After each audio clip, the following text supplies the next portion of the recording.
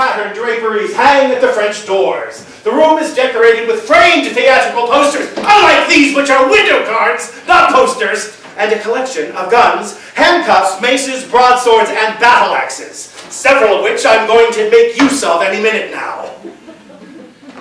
Would you like me to explain? You have nothing to explain. You are a lunatic with a death wish. Freud covered it thoroughly. I have exactly the same wish you have, Sidney. A success wish. Oh, and this is going to bring you success. Don't you remember? I put in that little extra speech when you were looking for the key. I mean, it hit me right there that night. It can be a terrific thriller.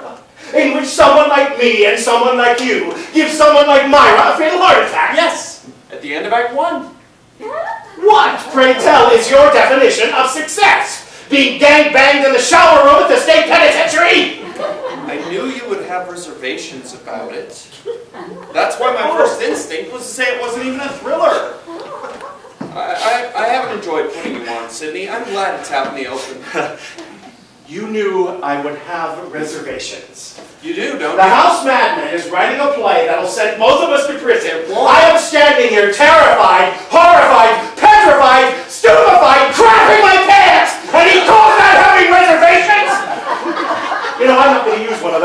you. I'm going to beat you to death with Roget's thesaurus. I have a comment, Cliff. No. Absolutely, definitely no.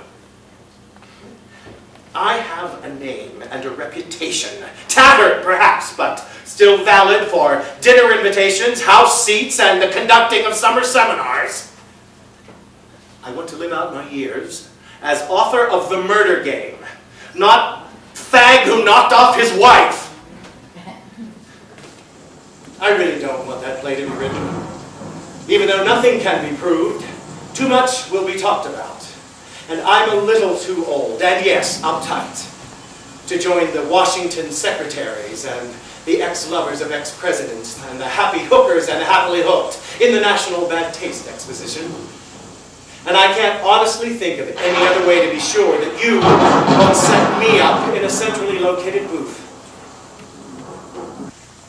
I'm truly sorry, Cliff. If you hadn't succumbed to thrilleritis malignus in what is surely one of the most acute cases on record, who knows? We might actually have become the team of Bruhl and Anderson. As it is now, we'll have to be only Bruhl. I'm out of dialogue. Your go.